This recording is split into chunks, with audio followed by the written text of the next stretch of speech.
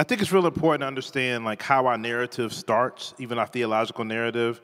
We can read the Bible as um, starting either at Genesis 3 or starting at Genesis 1.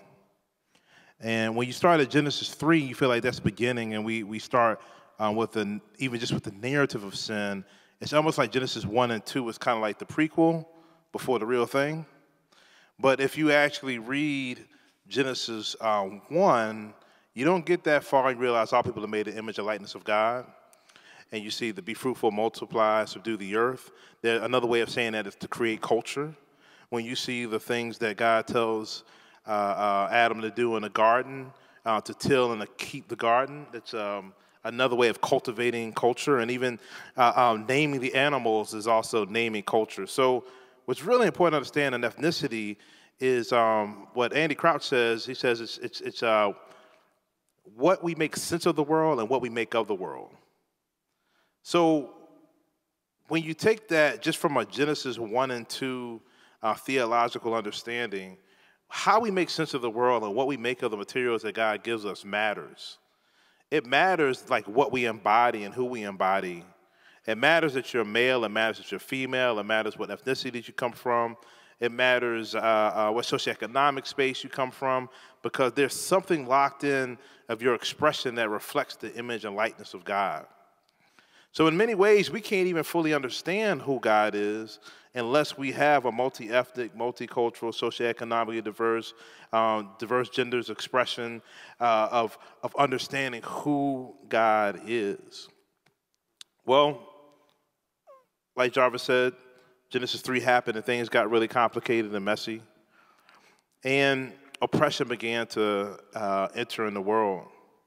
I think it's really important that we understand that God's people, like Abraham, God made a um, promise to Abraham that he'll take his son and make his son to a great see into a great nation so they can be a blessing to other nations.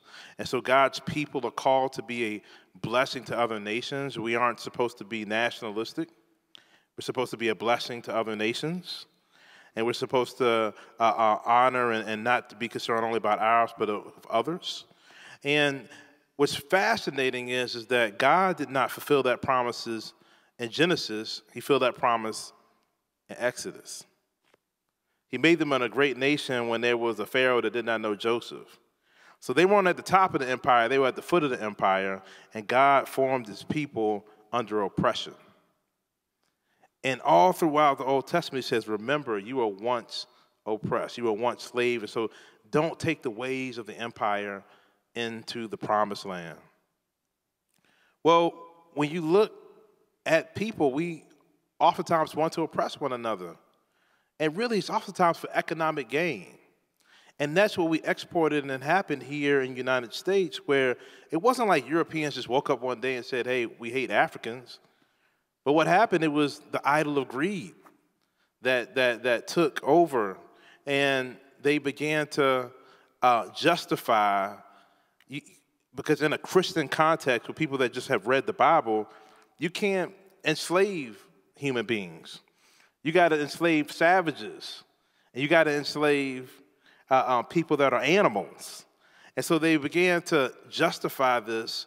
And this is when we began to make a separation between a spiritual salvation and a physical salvation in order to justify the economics that was happening. And now, in many ways, when you hear people talk about, uh, uh, we began to talk about issues of like your humanity and race and justice. We've inherited a theology where you can separate your gospel can be both spiritual and not have uh, any kind of physical manifestation. And so this is a theology that we've inherited. There's an economic oppression that's going on for hundreds of years. And this is this mess that we've inherited. And, and so when we talk about racial and ethnic hostility, it's, it's important to understand that it's the enemy. So um, I won't pull it out now, but in Ephesians 6, I think 14 or 15, it says, we don't wrestle against flesh and blood, but they're principalities. Well, the principality in this land is white supremacy.